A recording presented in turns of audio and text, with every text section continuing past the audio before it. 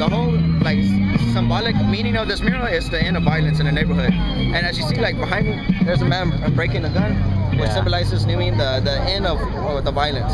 You go and to, to the uh, right of me, you got um, a group unification. So, for instance, uh, you know, it could stick to gang violence, you know, but they're also coming together. So unification. And to the left of me, you got a, a, a man and a, a young man and a young lady that are, you know, coming together due to the acts of violence. You know, they're, they're mourning. They're mourning due to, you know, they could have had something, someone lost due to violence. They could have, you know, been sad because of it.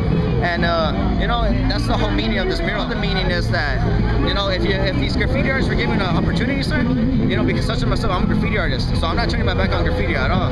But if they were given artists, because we're, we had Lanier, you know, Lanier, the high school, we had 21 kids sign up as a summer program. Zero come out. The ones that actually helped paint in this mural were graffiti artists. You know, they just wanted an opportunity to do some artwork. And these are all graffiti artists right here, sir. All graffiti artists. And we kept them out of trouble for some time. I got involved through uh, San Antonio Culture Arts, through a field trip uh, uh, with the CIS of Frank Tejeda, which is a, a, a program in, in the school. And um, they knew I had an interest in art. And from that field trip, one day, you know, stuck with me the rest of my life. Now, the holy water didn't come in this originally.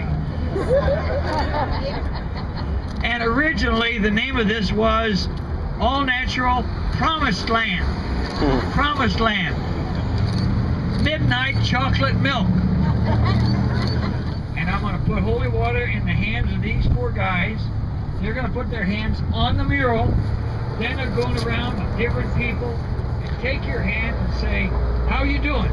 How you doing? Put your hands together. Okay, put your you can touch the mural.